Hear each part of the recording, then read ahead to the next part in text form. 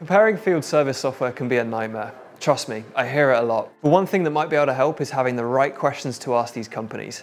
That's what we're going to go through today. Hey, I'm Jack. I do work for Commusoft, and in fact I sell it every single day to some amazing companies across the UK.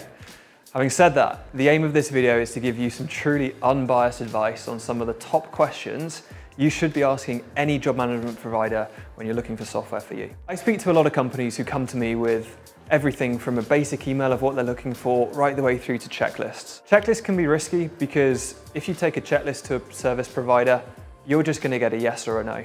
Now, comparing us to other options out there, looking at our websites, you're gonna get a full list of ticks on that spreadsheet straight away.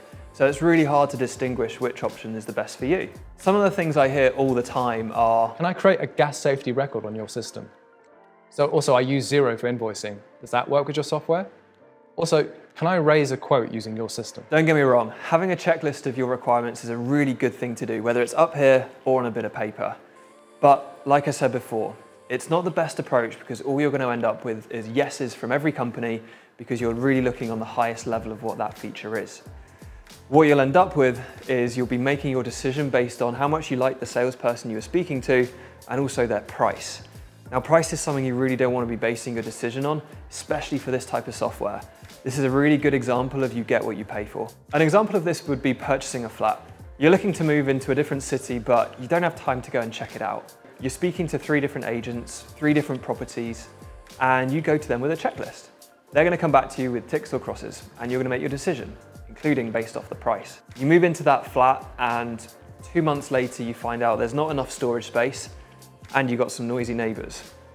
You gotta look all over again. So we've given you some idea of what not to ask. I'm gonna go through three of my top tips when it comes to what questions you should ask different software providers. My first one is, are they hanging you out to dry? You've signed up with them.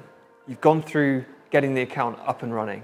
And now the question is, where do we go now? Some companies Commusoft included, will give you onboarding and training and support after you sign up. Other providers might not. Training with this type of software is really important because otherwise you're going to be stuck with a platform that you don't really know how to use. My final point would be to get on a website called capterra.com. We'll put a link in the description below. This website is a really great way you can get honest, truthful reviews from actual customers of the company you're looking at. You could also ask to speak with an existing client in your industry, or get on a forum, or look for a user group where you can chat with actual users. Here's an example of what you want to watch out for. My second tip is all around growth. Will the system grow as you grow?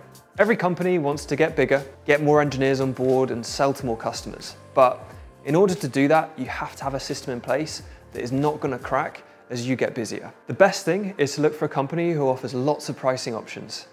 If you start on one of their lower plans, you're not going to hit the limit of what the company can offer you because they've got other plans that you can move on to as your requirements change and as your company grows.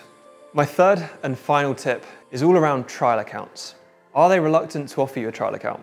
Now these are big systems, and so it's really hard for them to get a lot of experience from the trial account.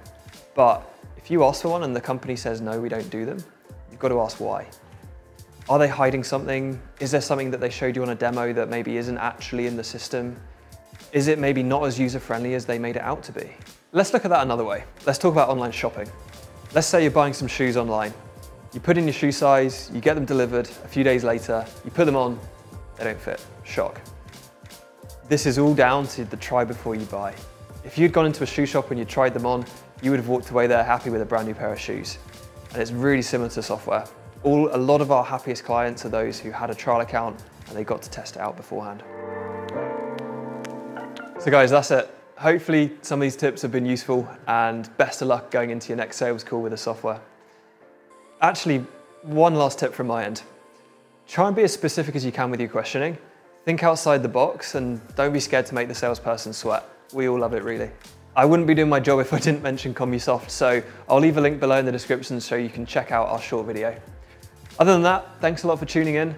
Check out the rest of our YouTube channel for some great resources. I'll see you next time.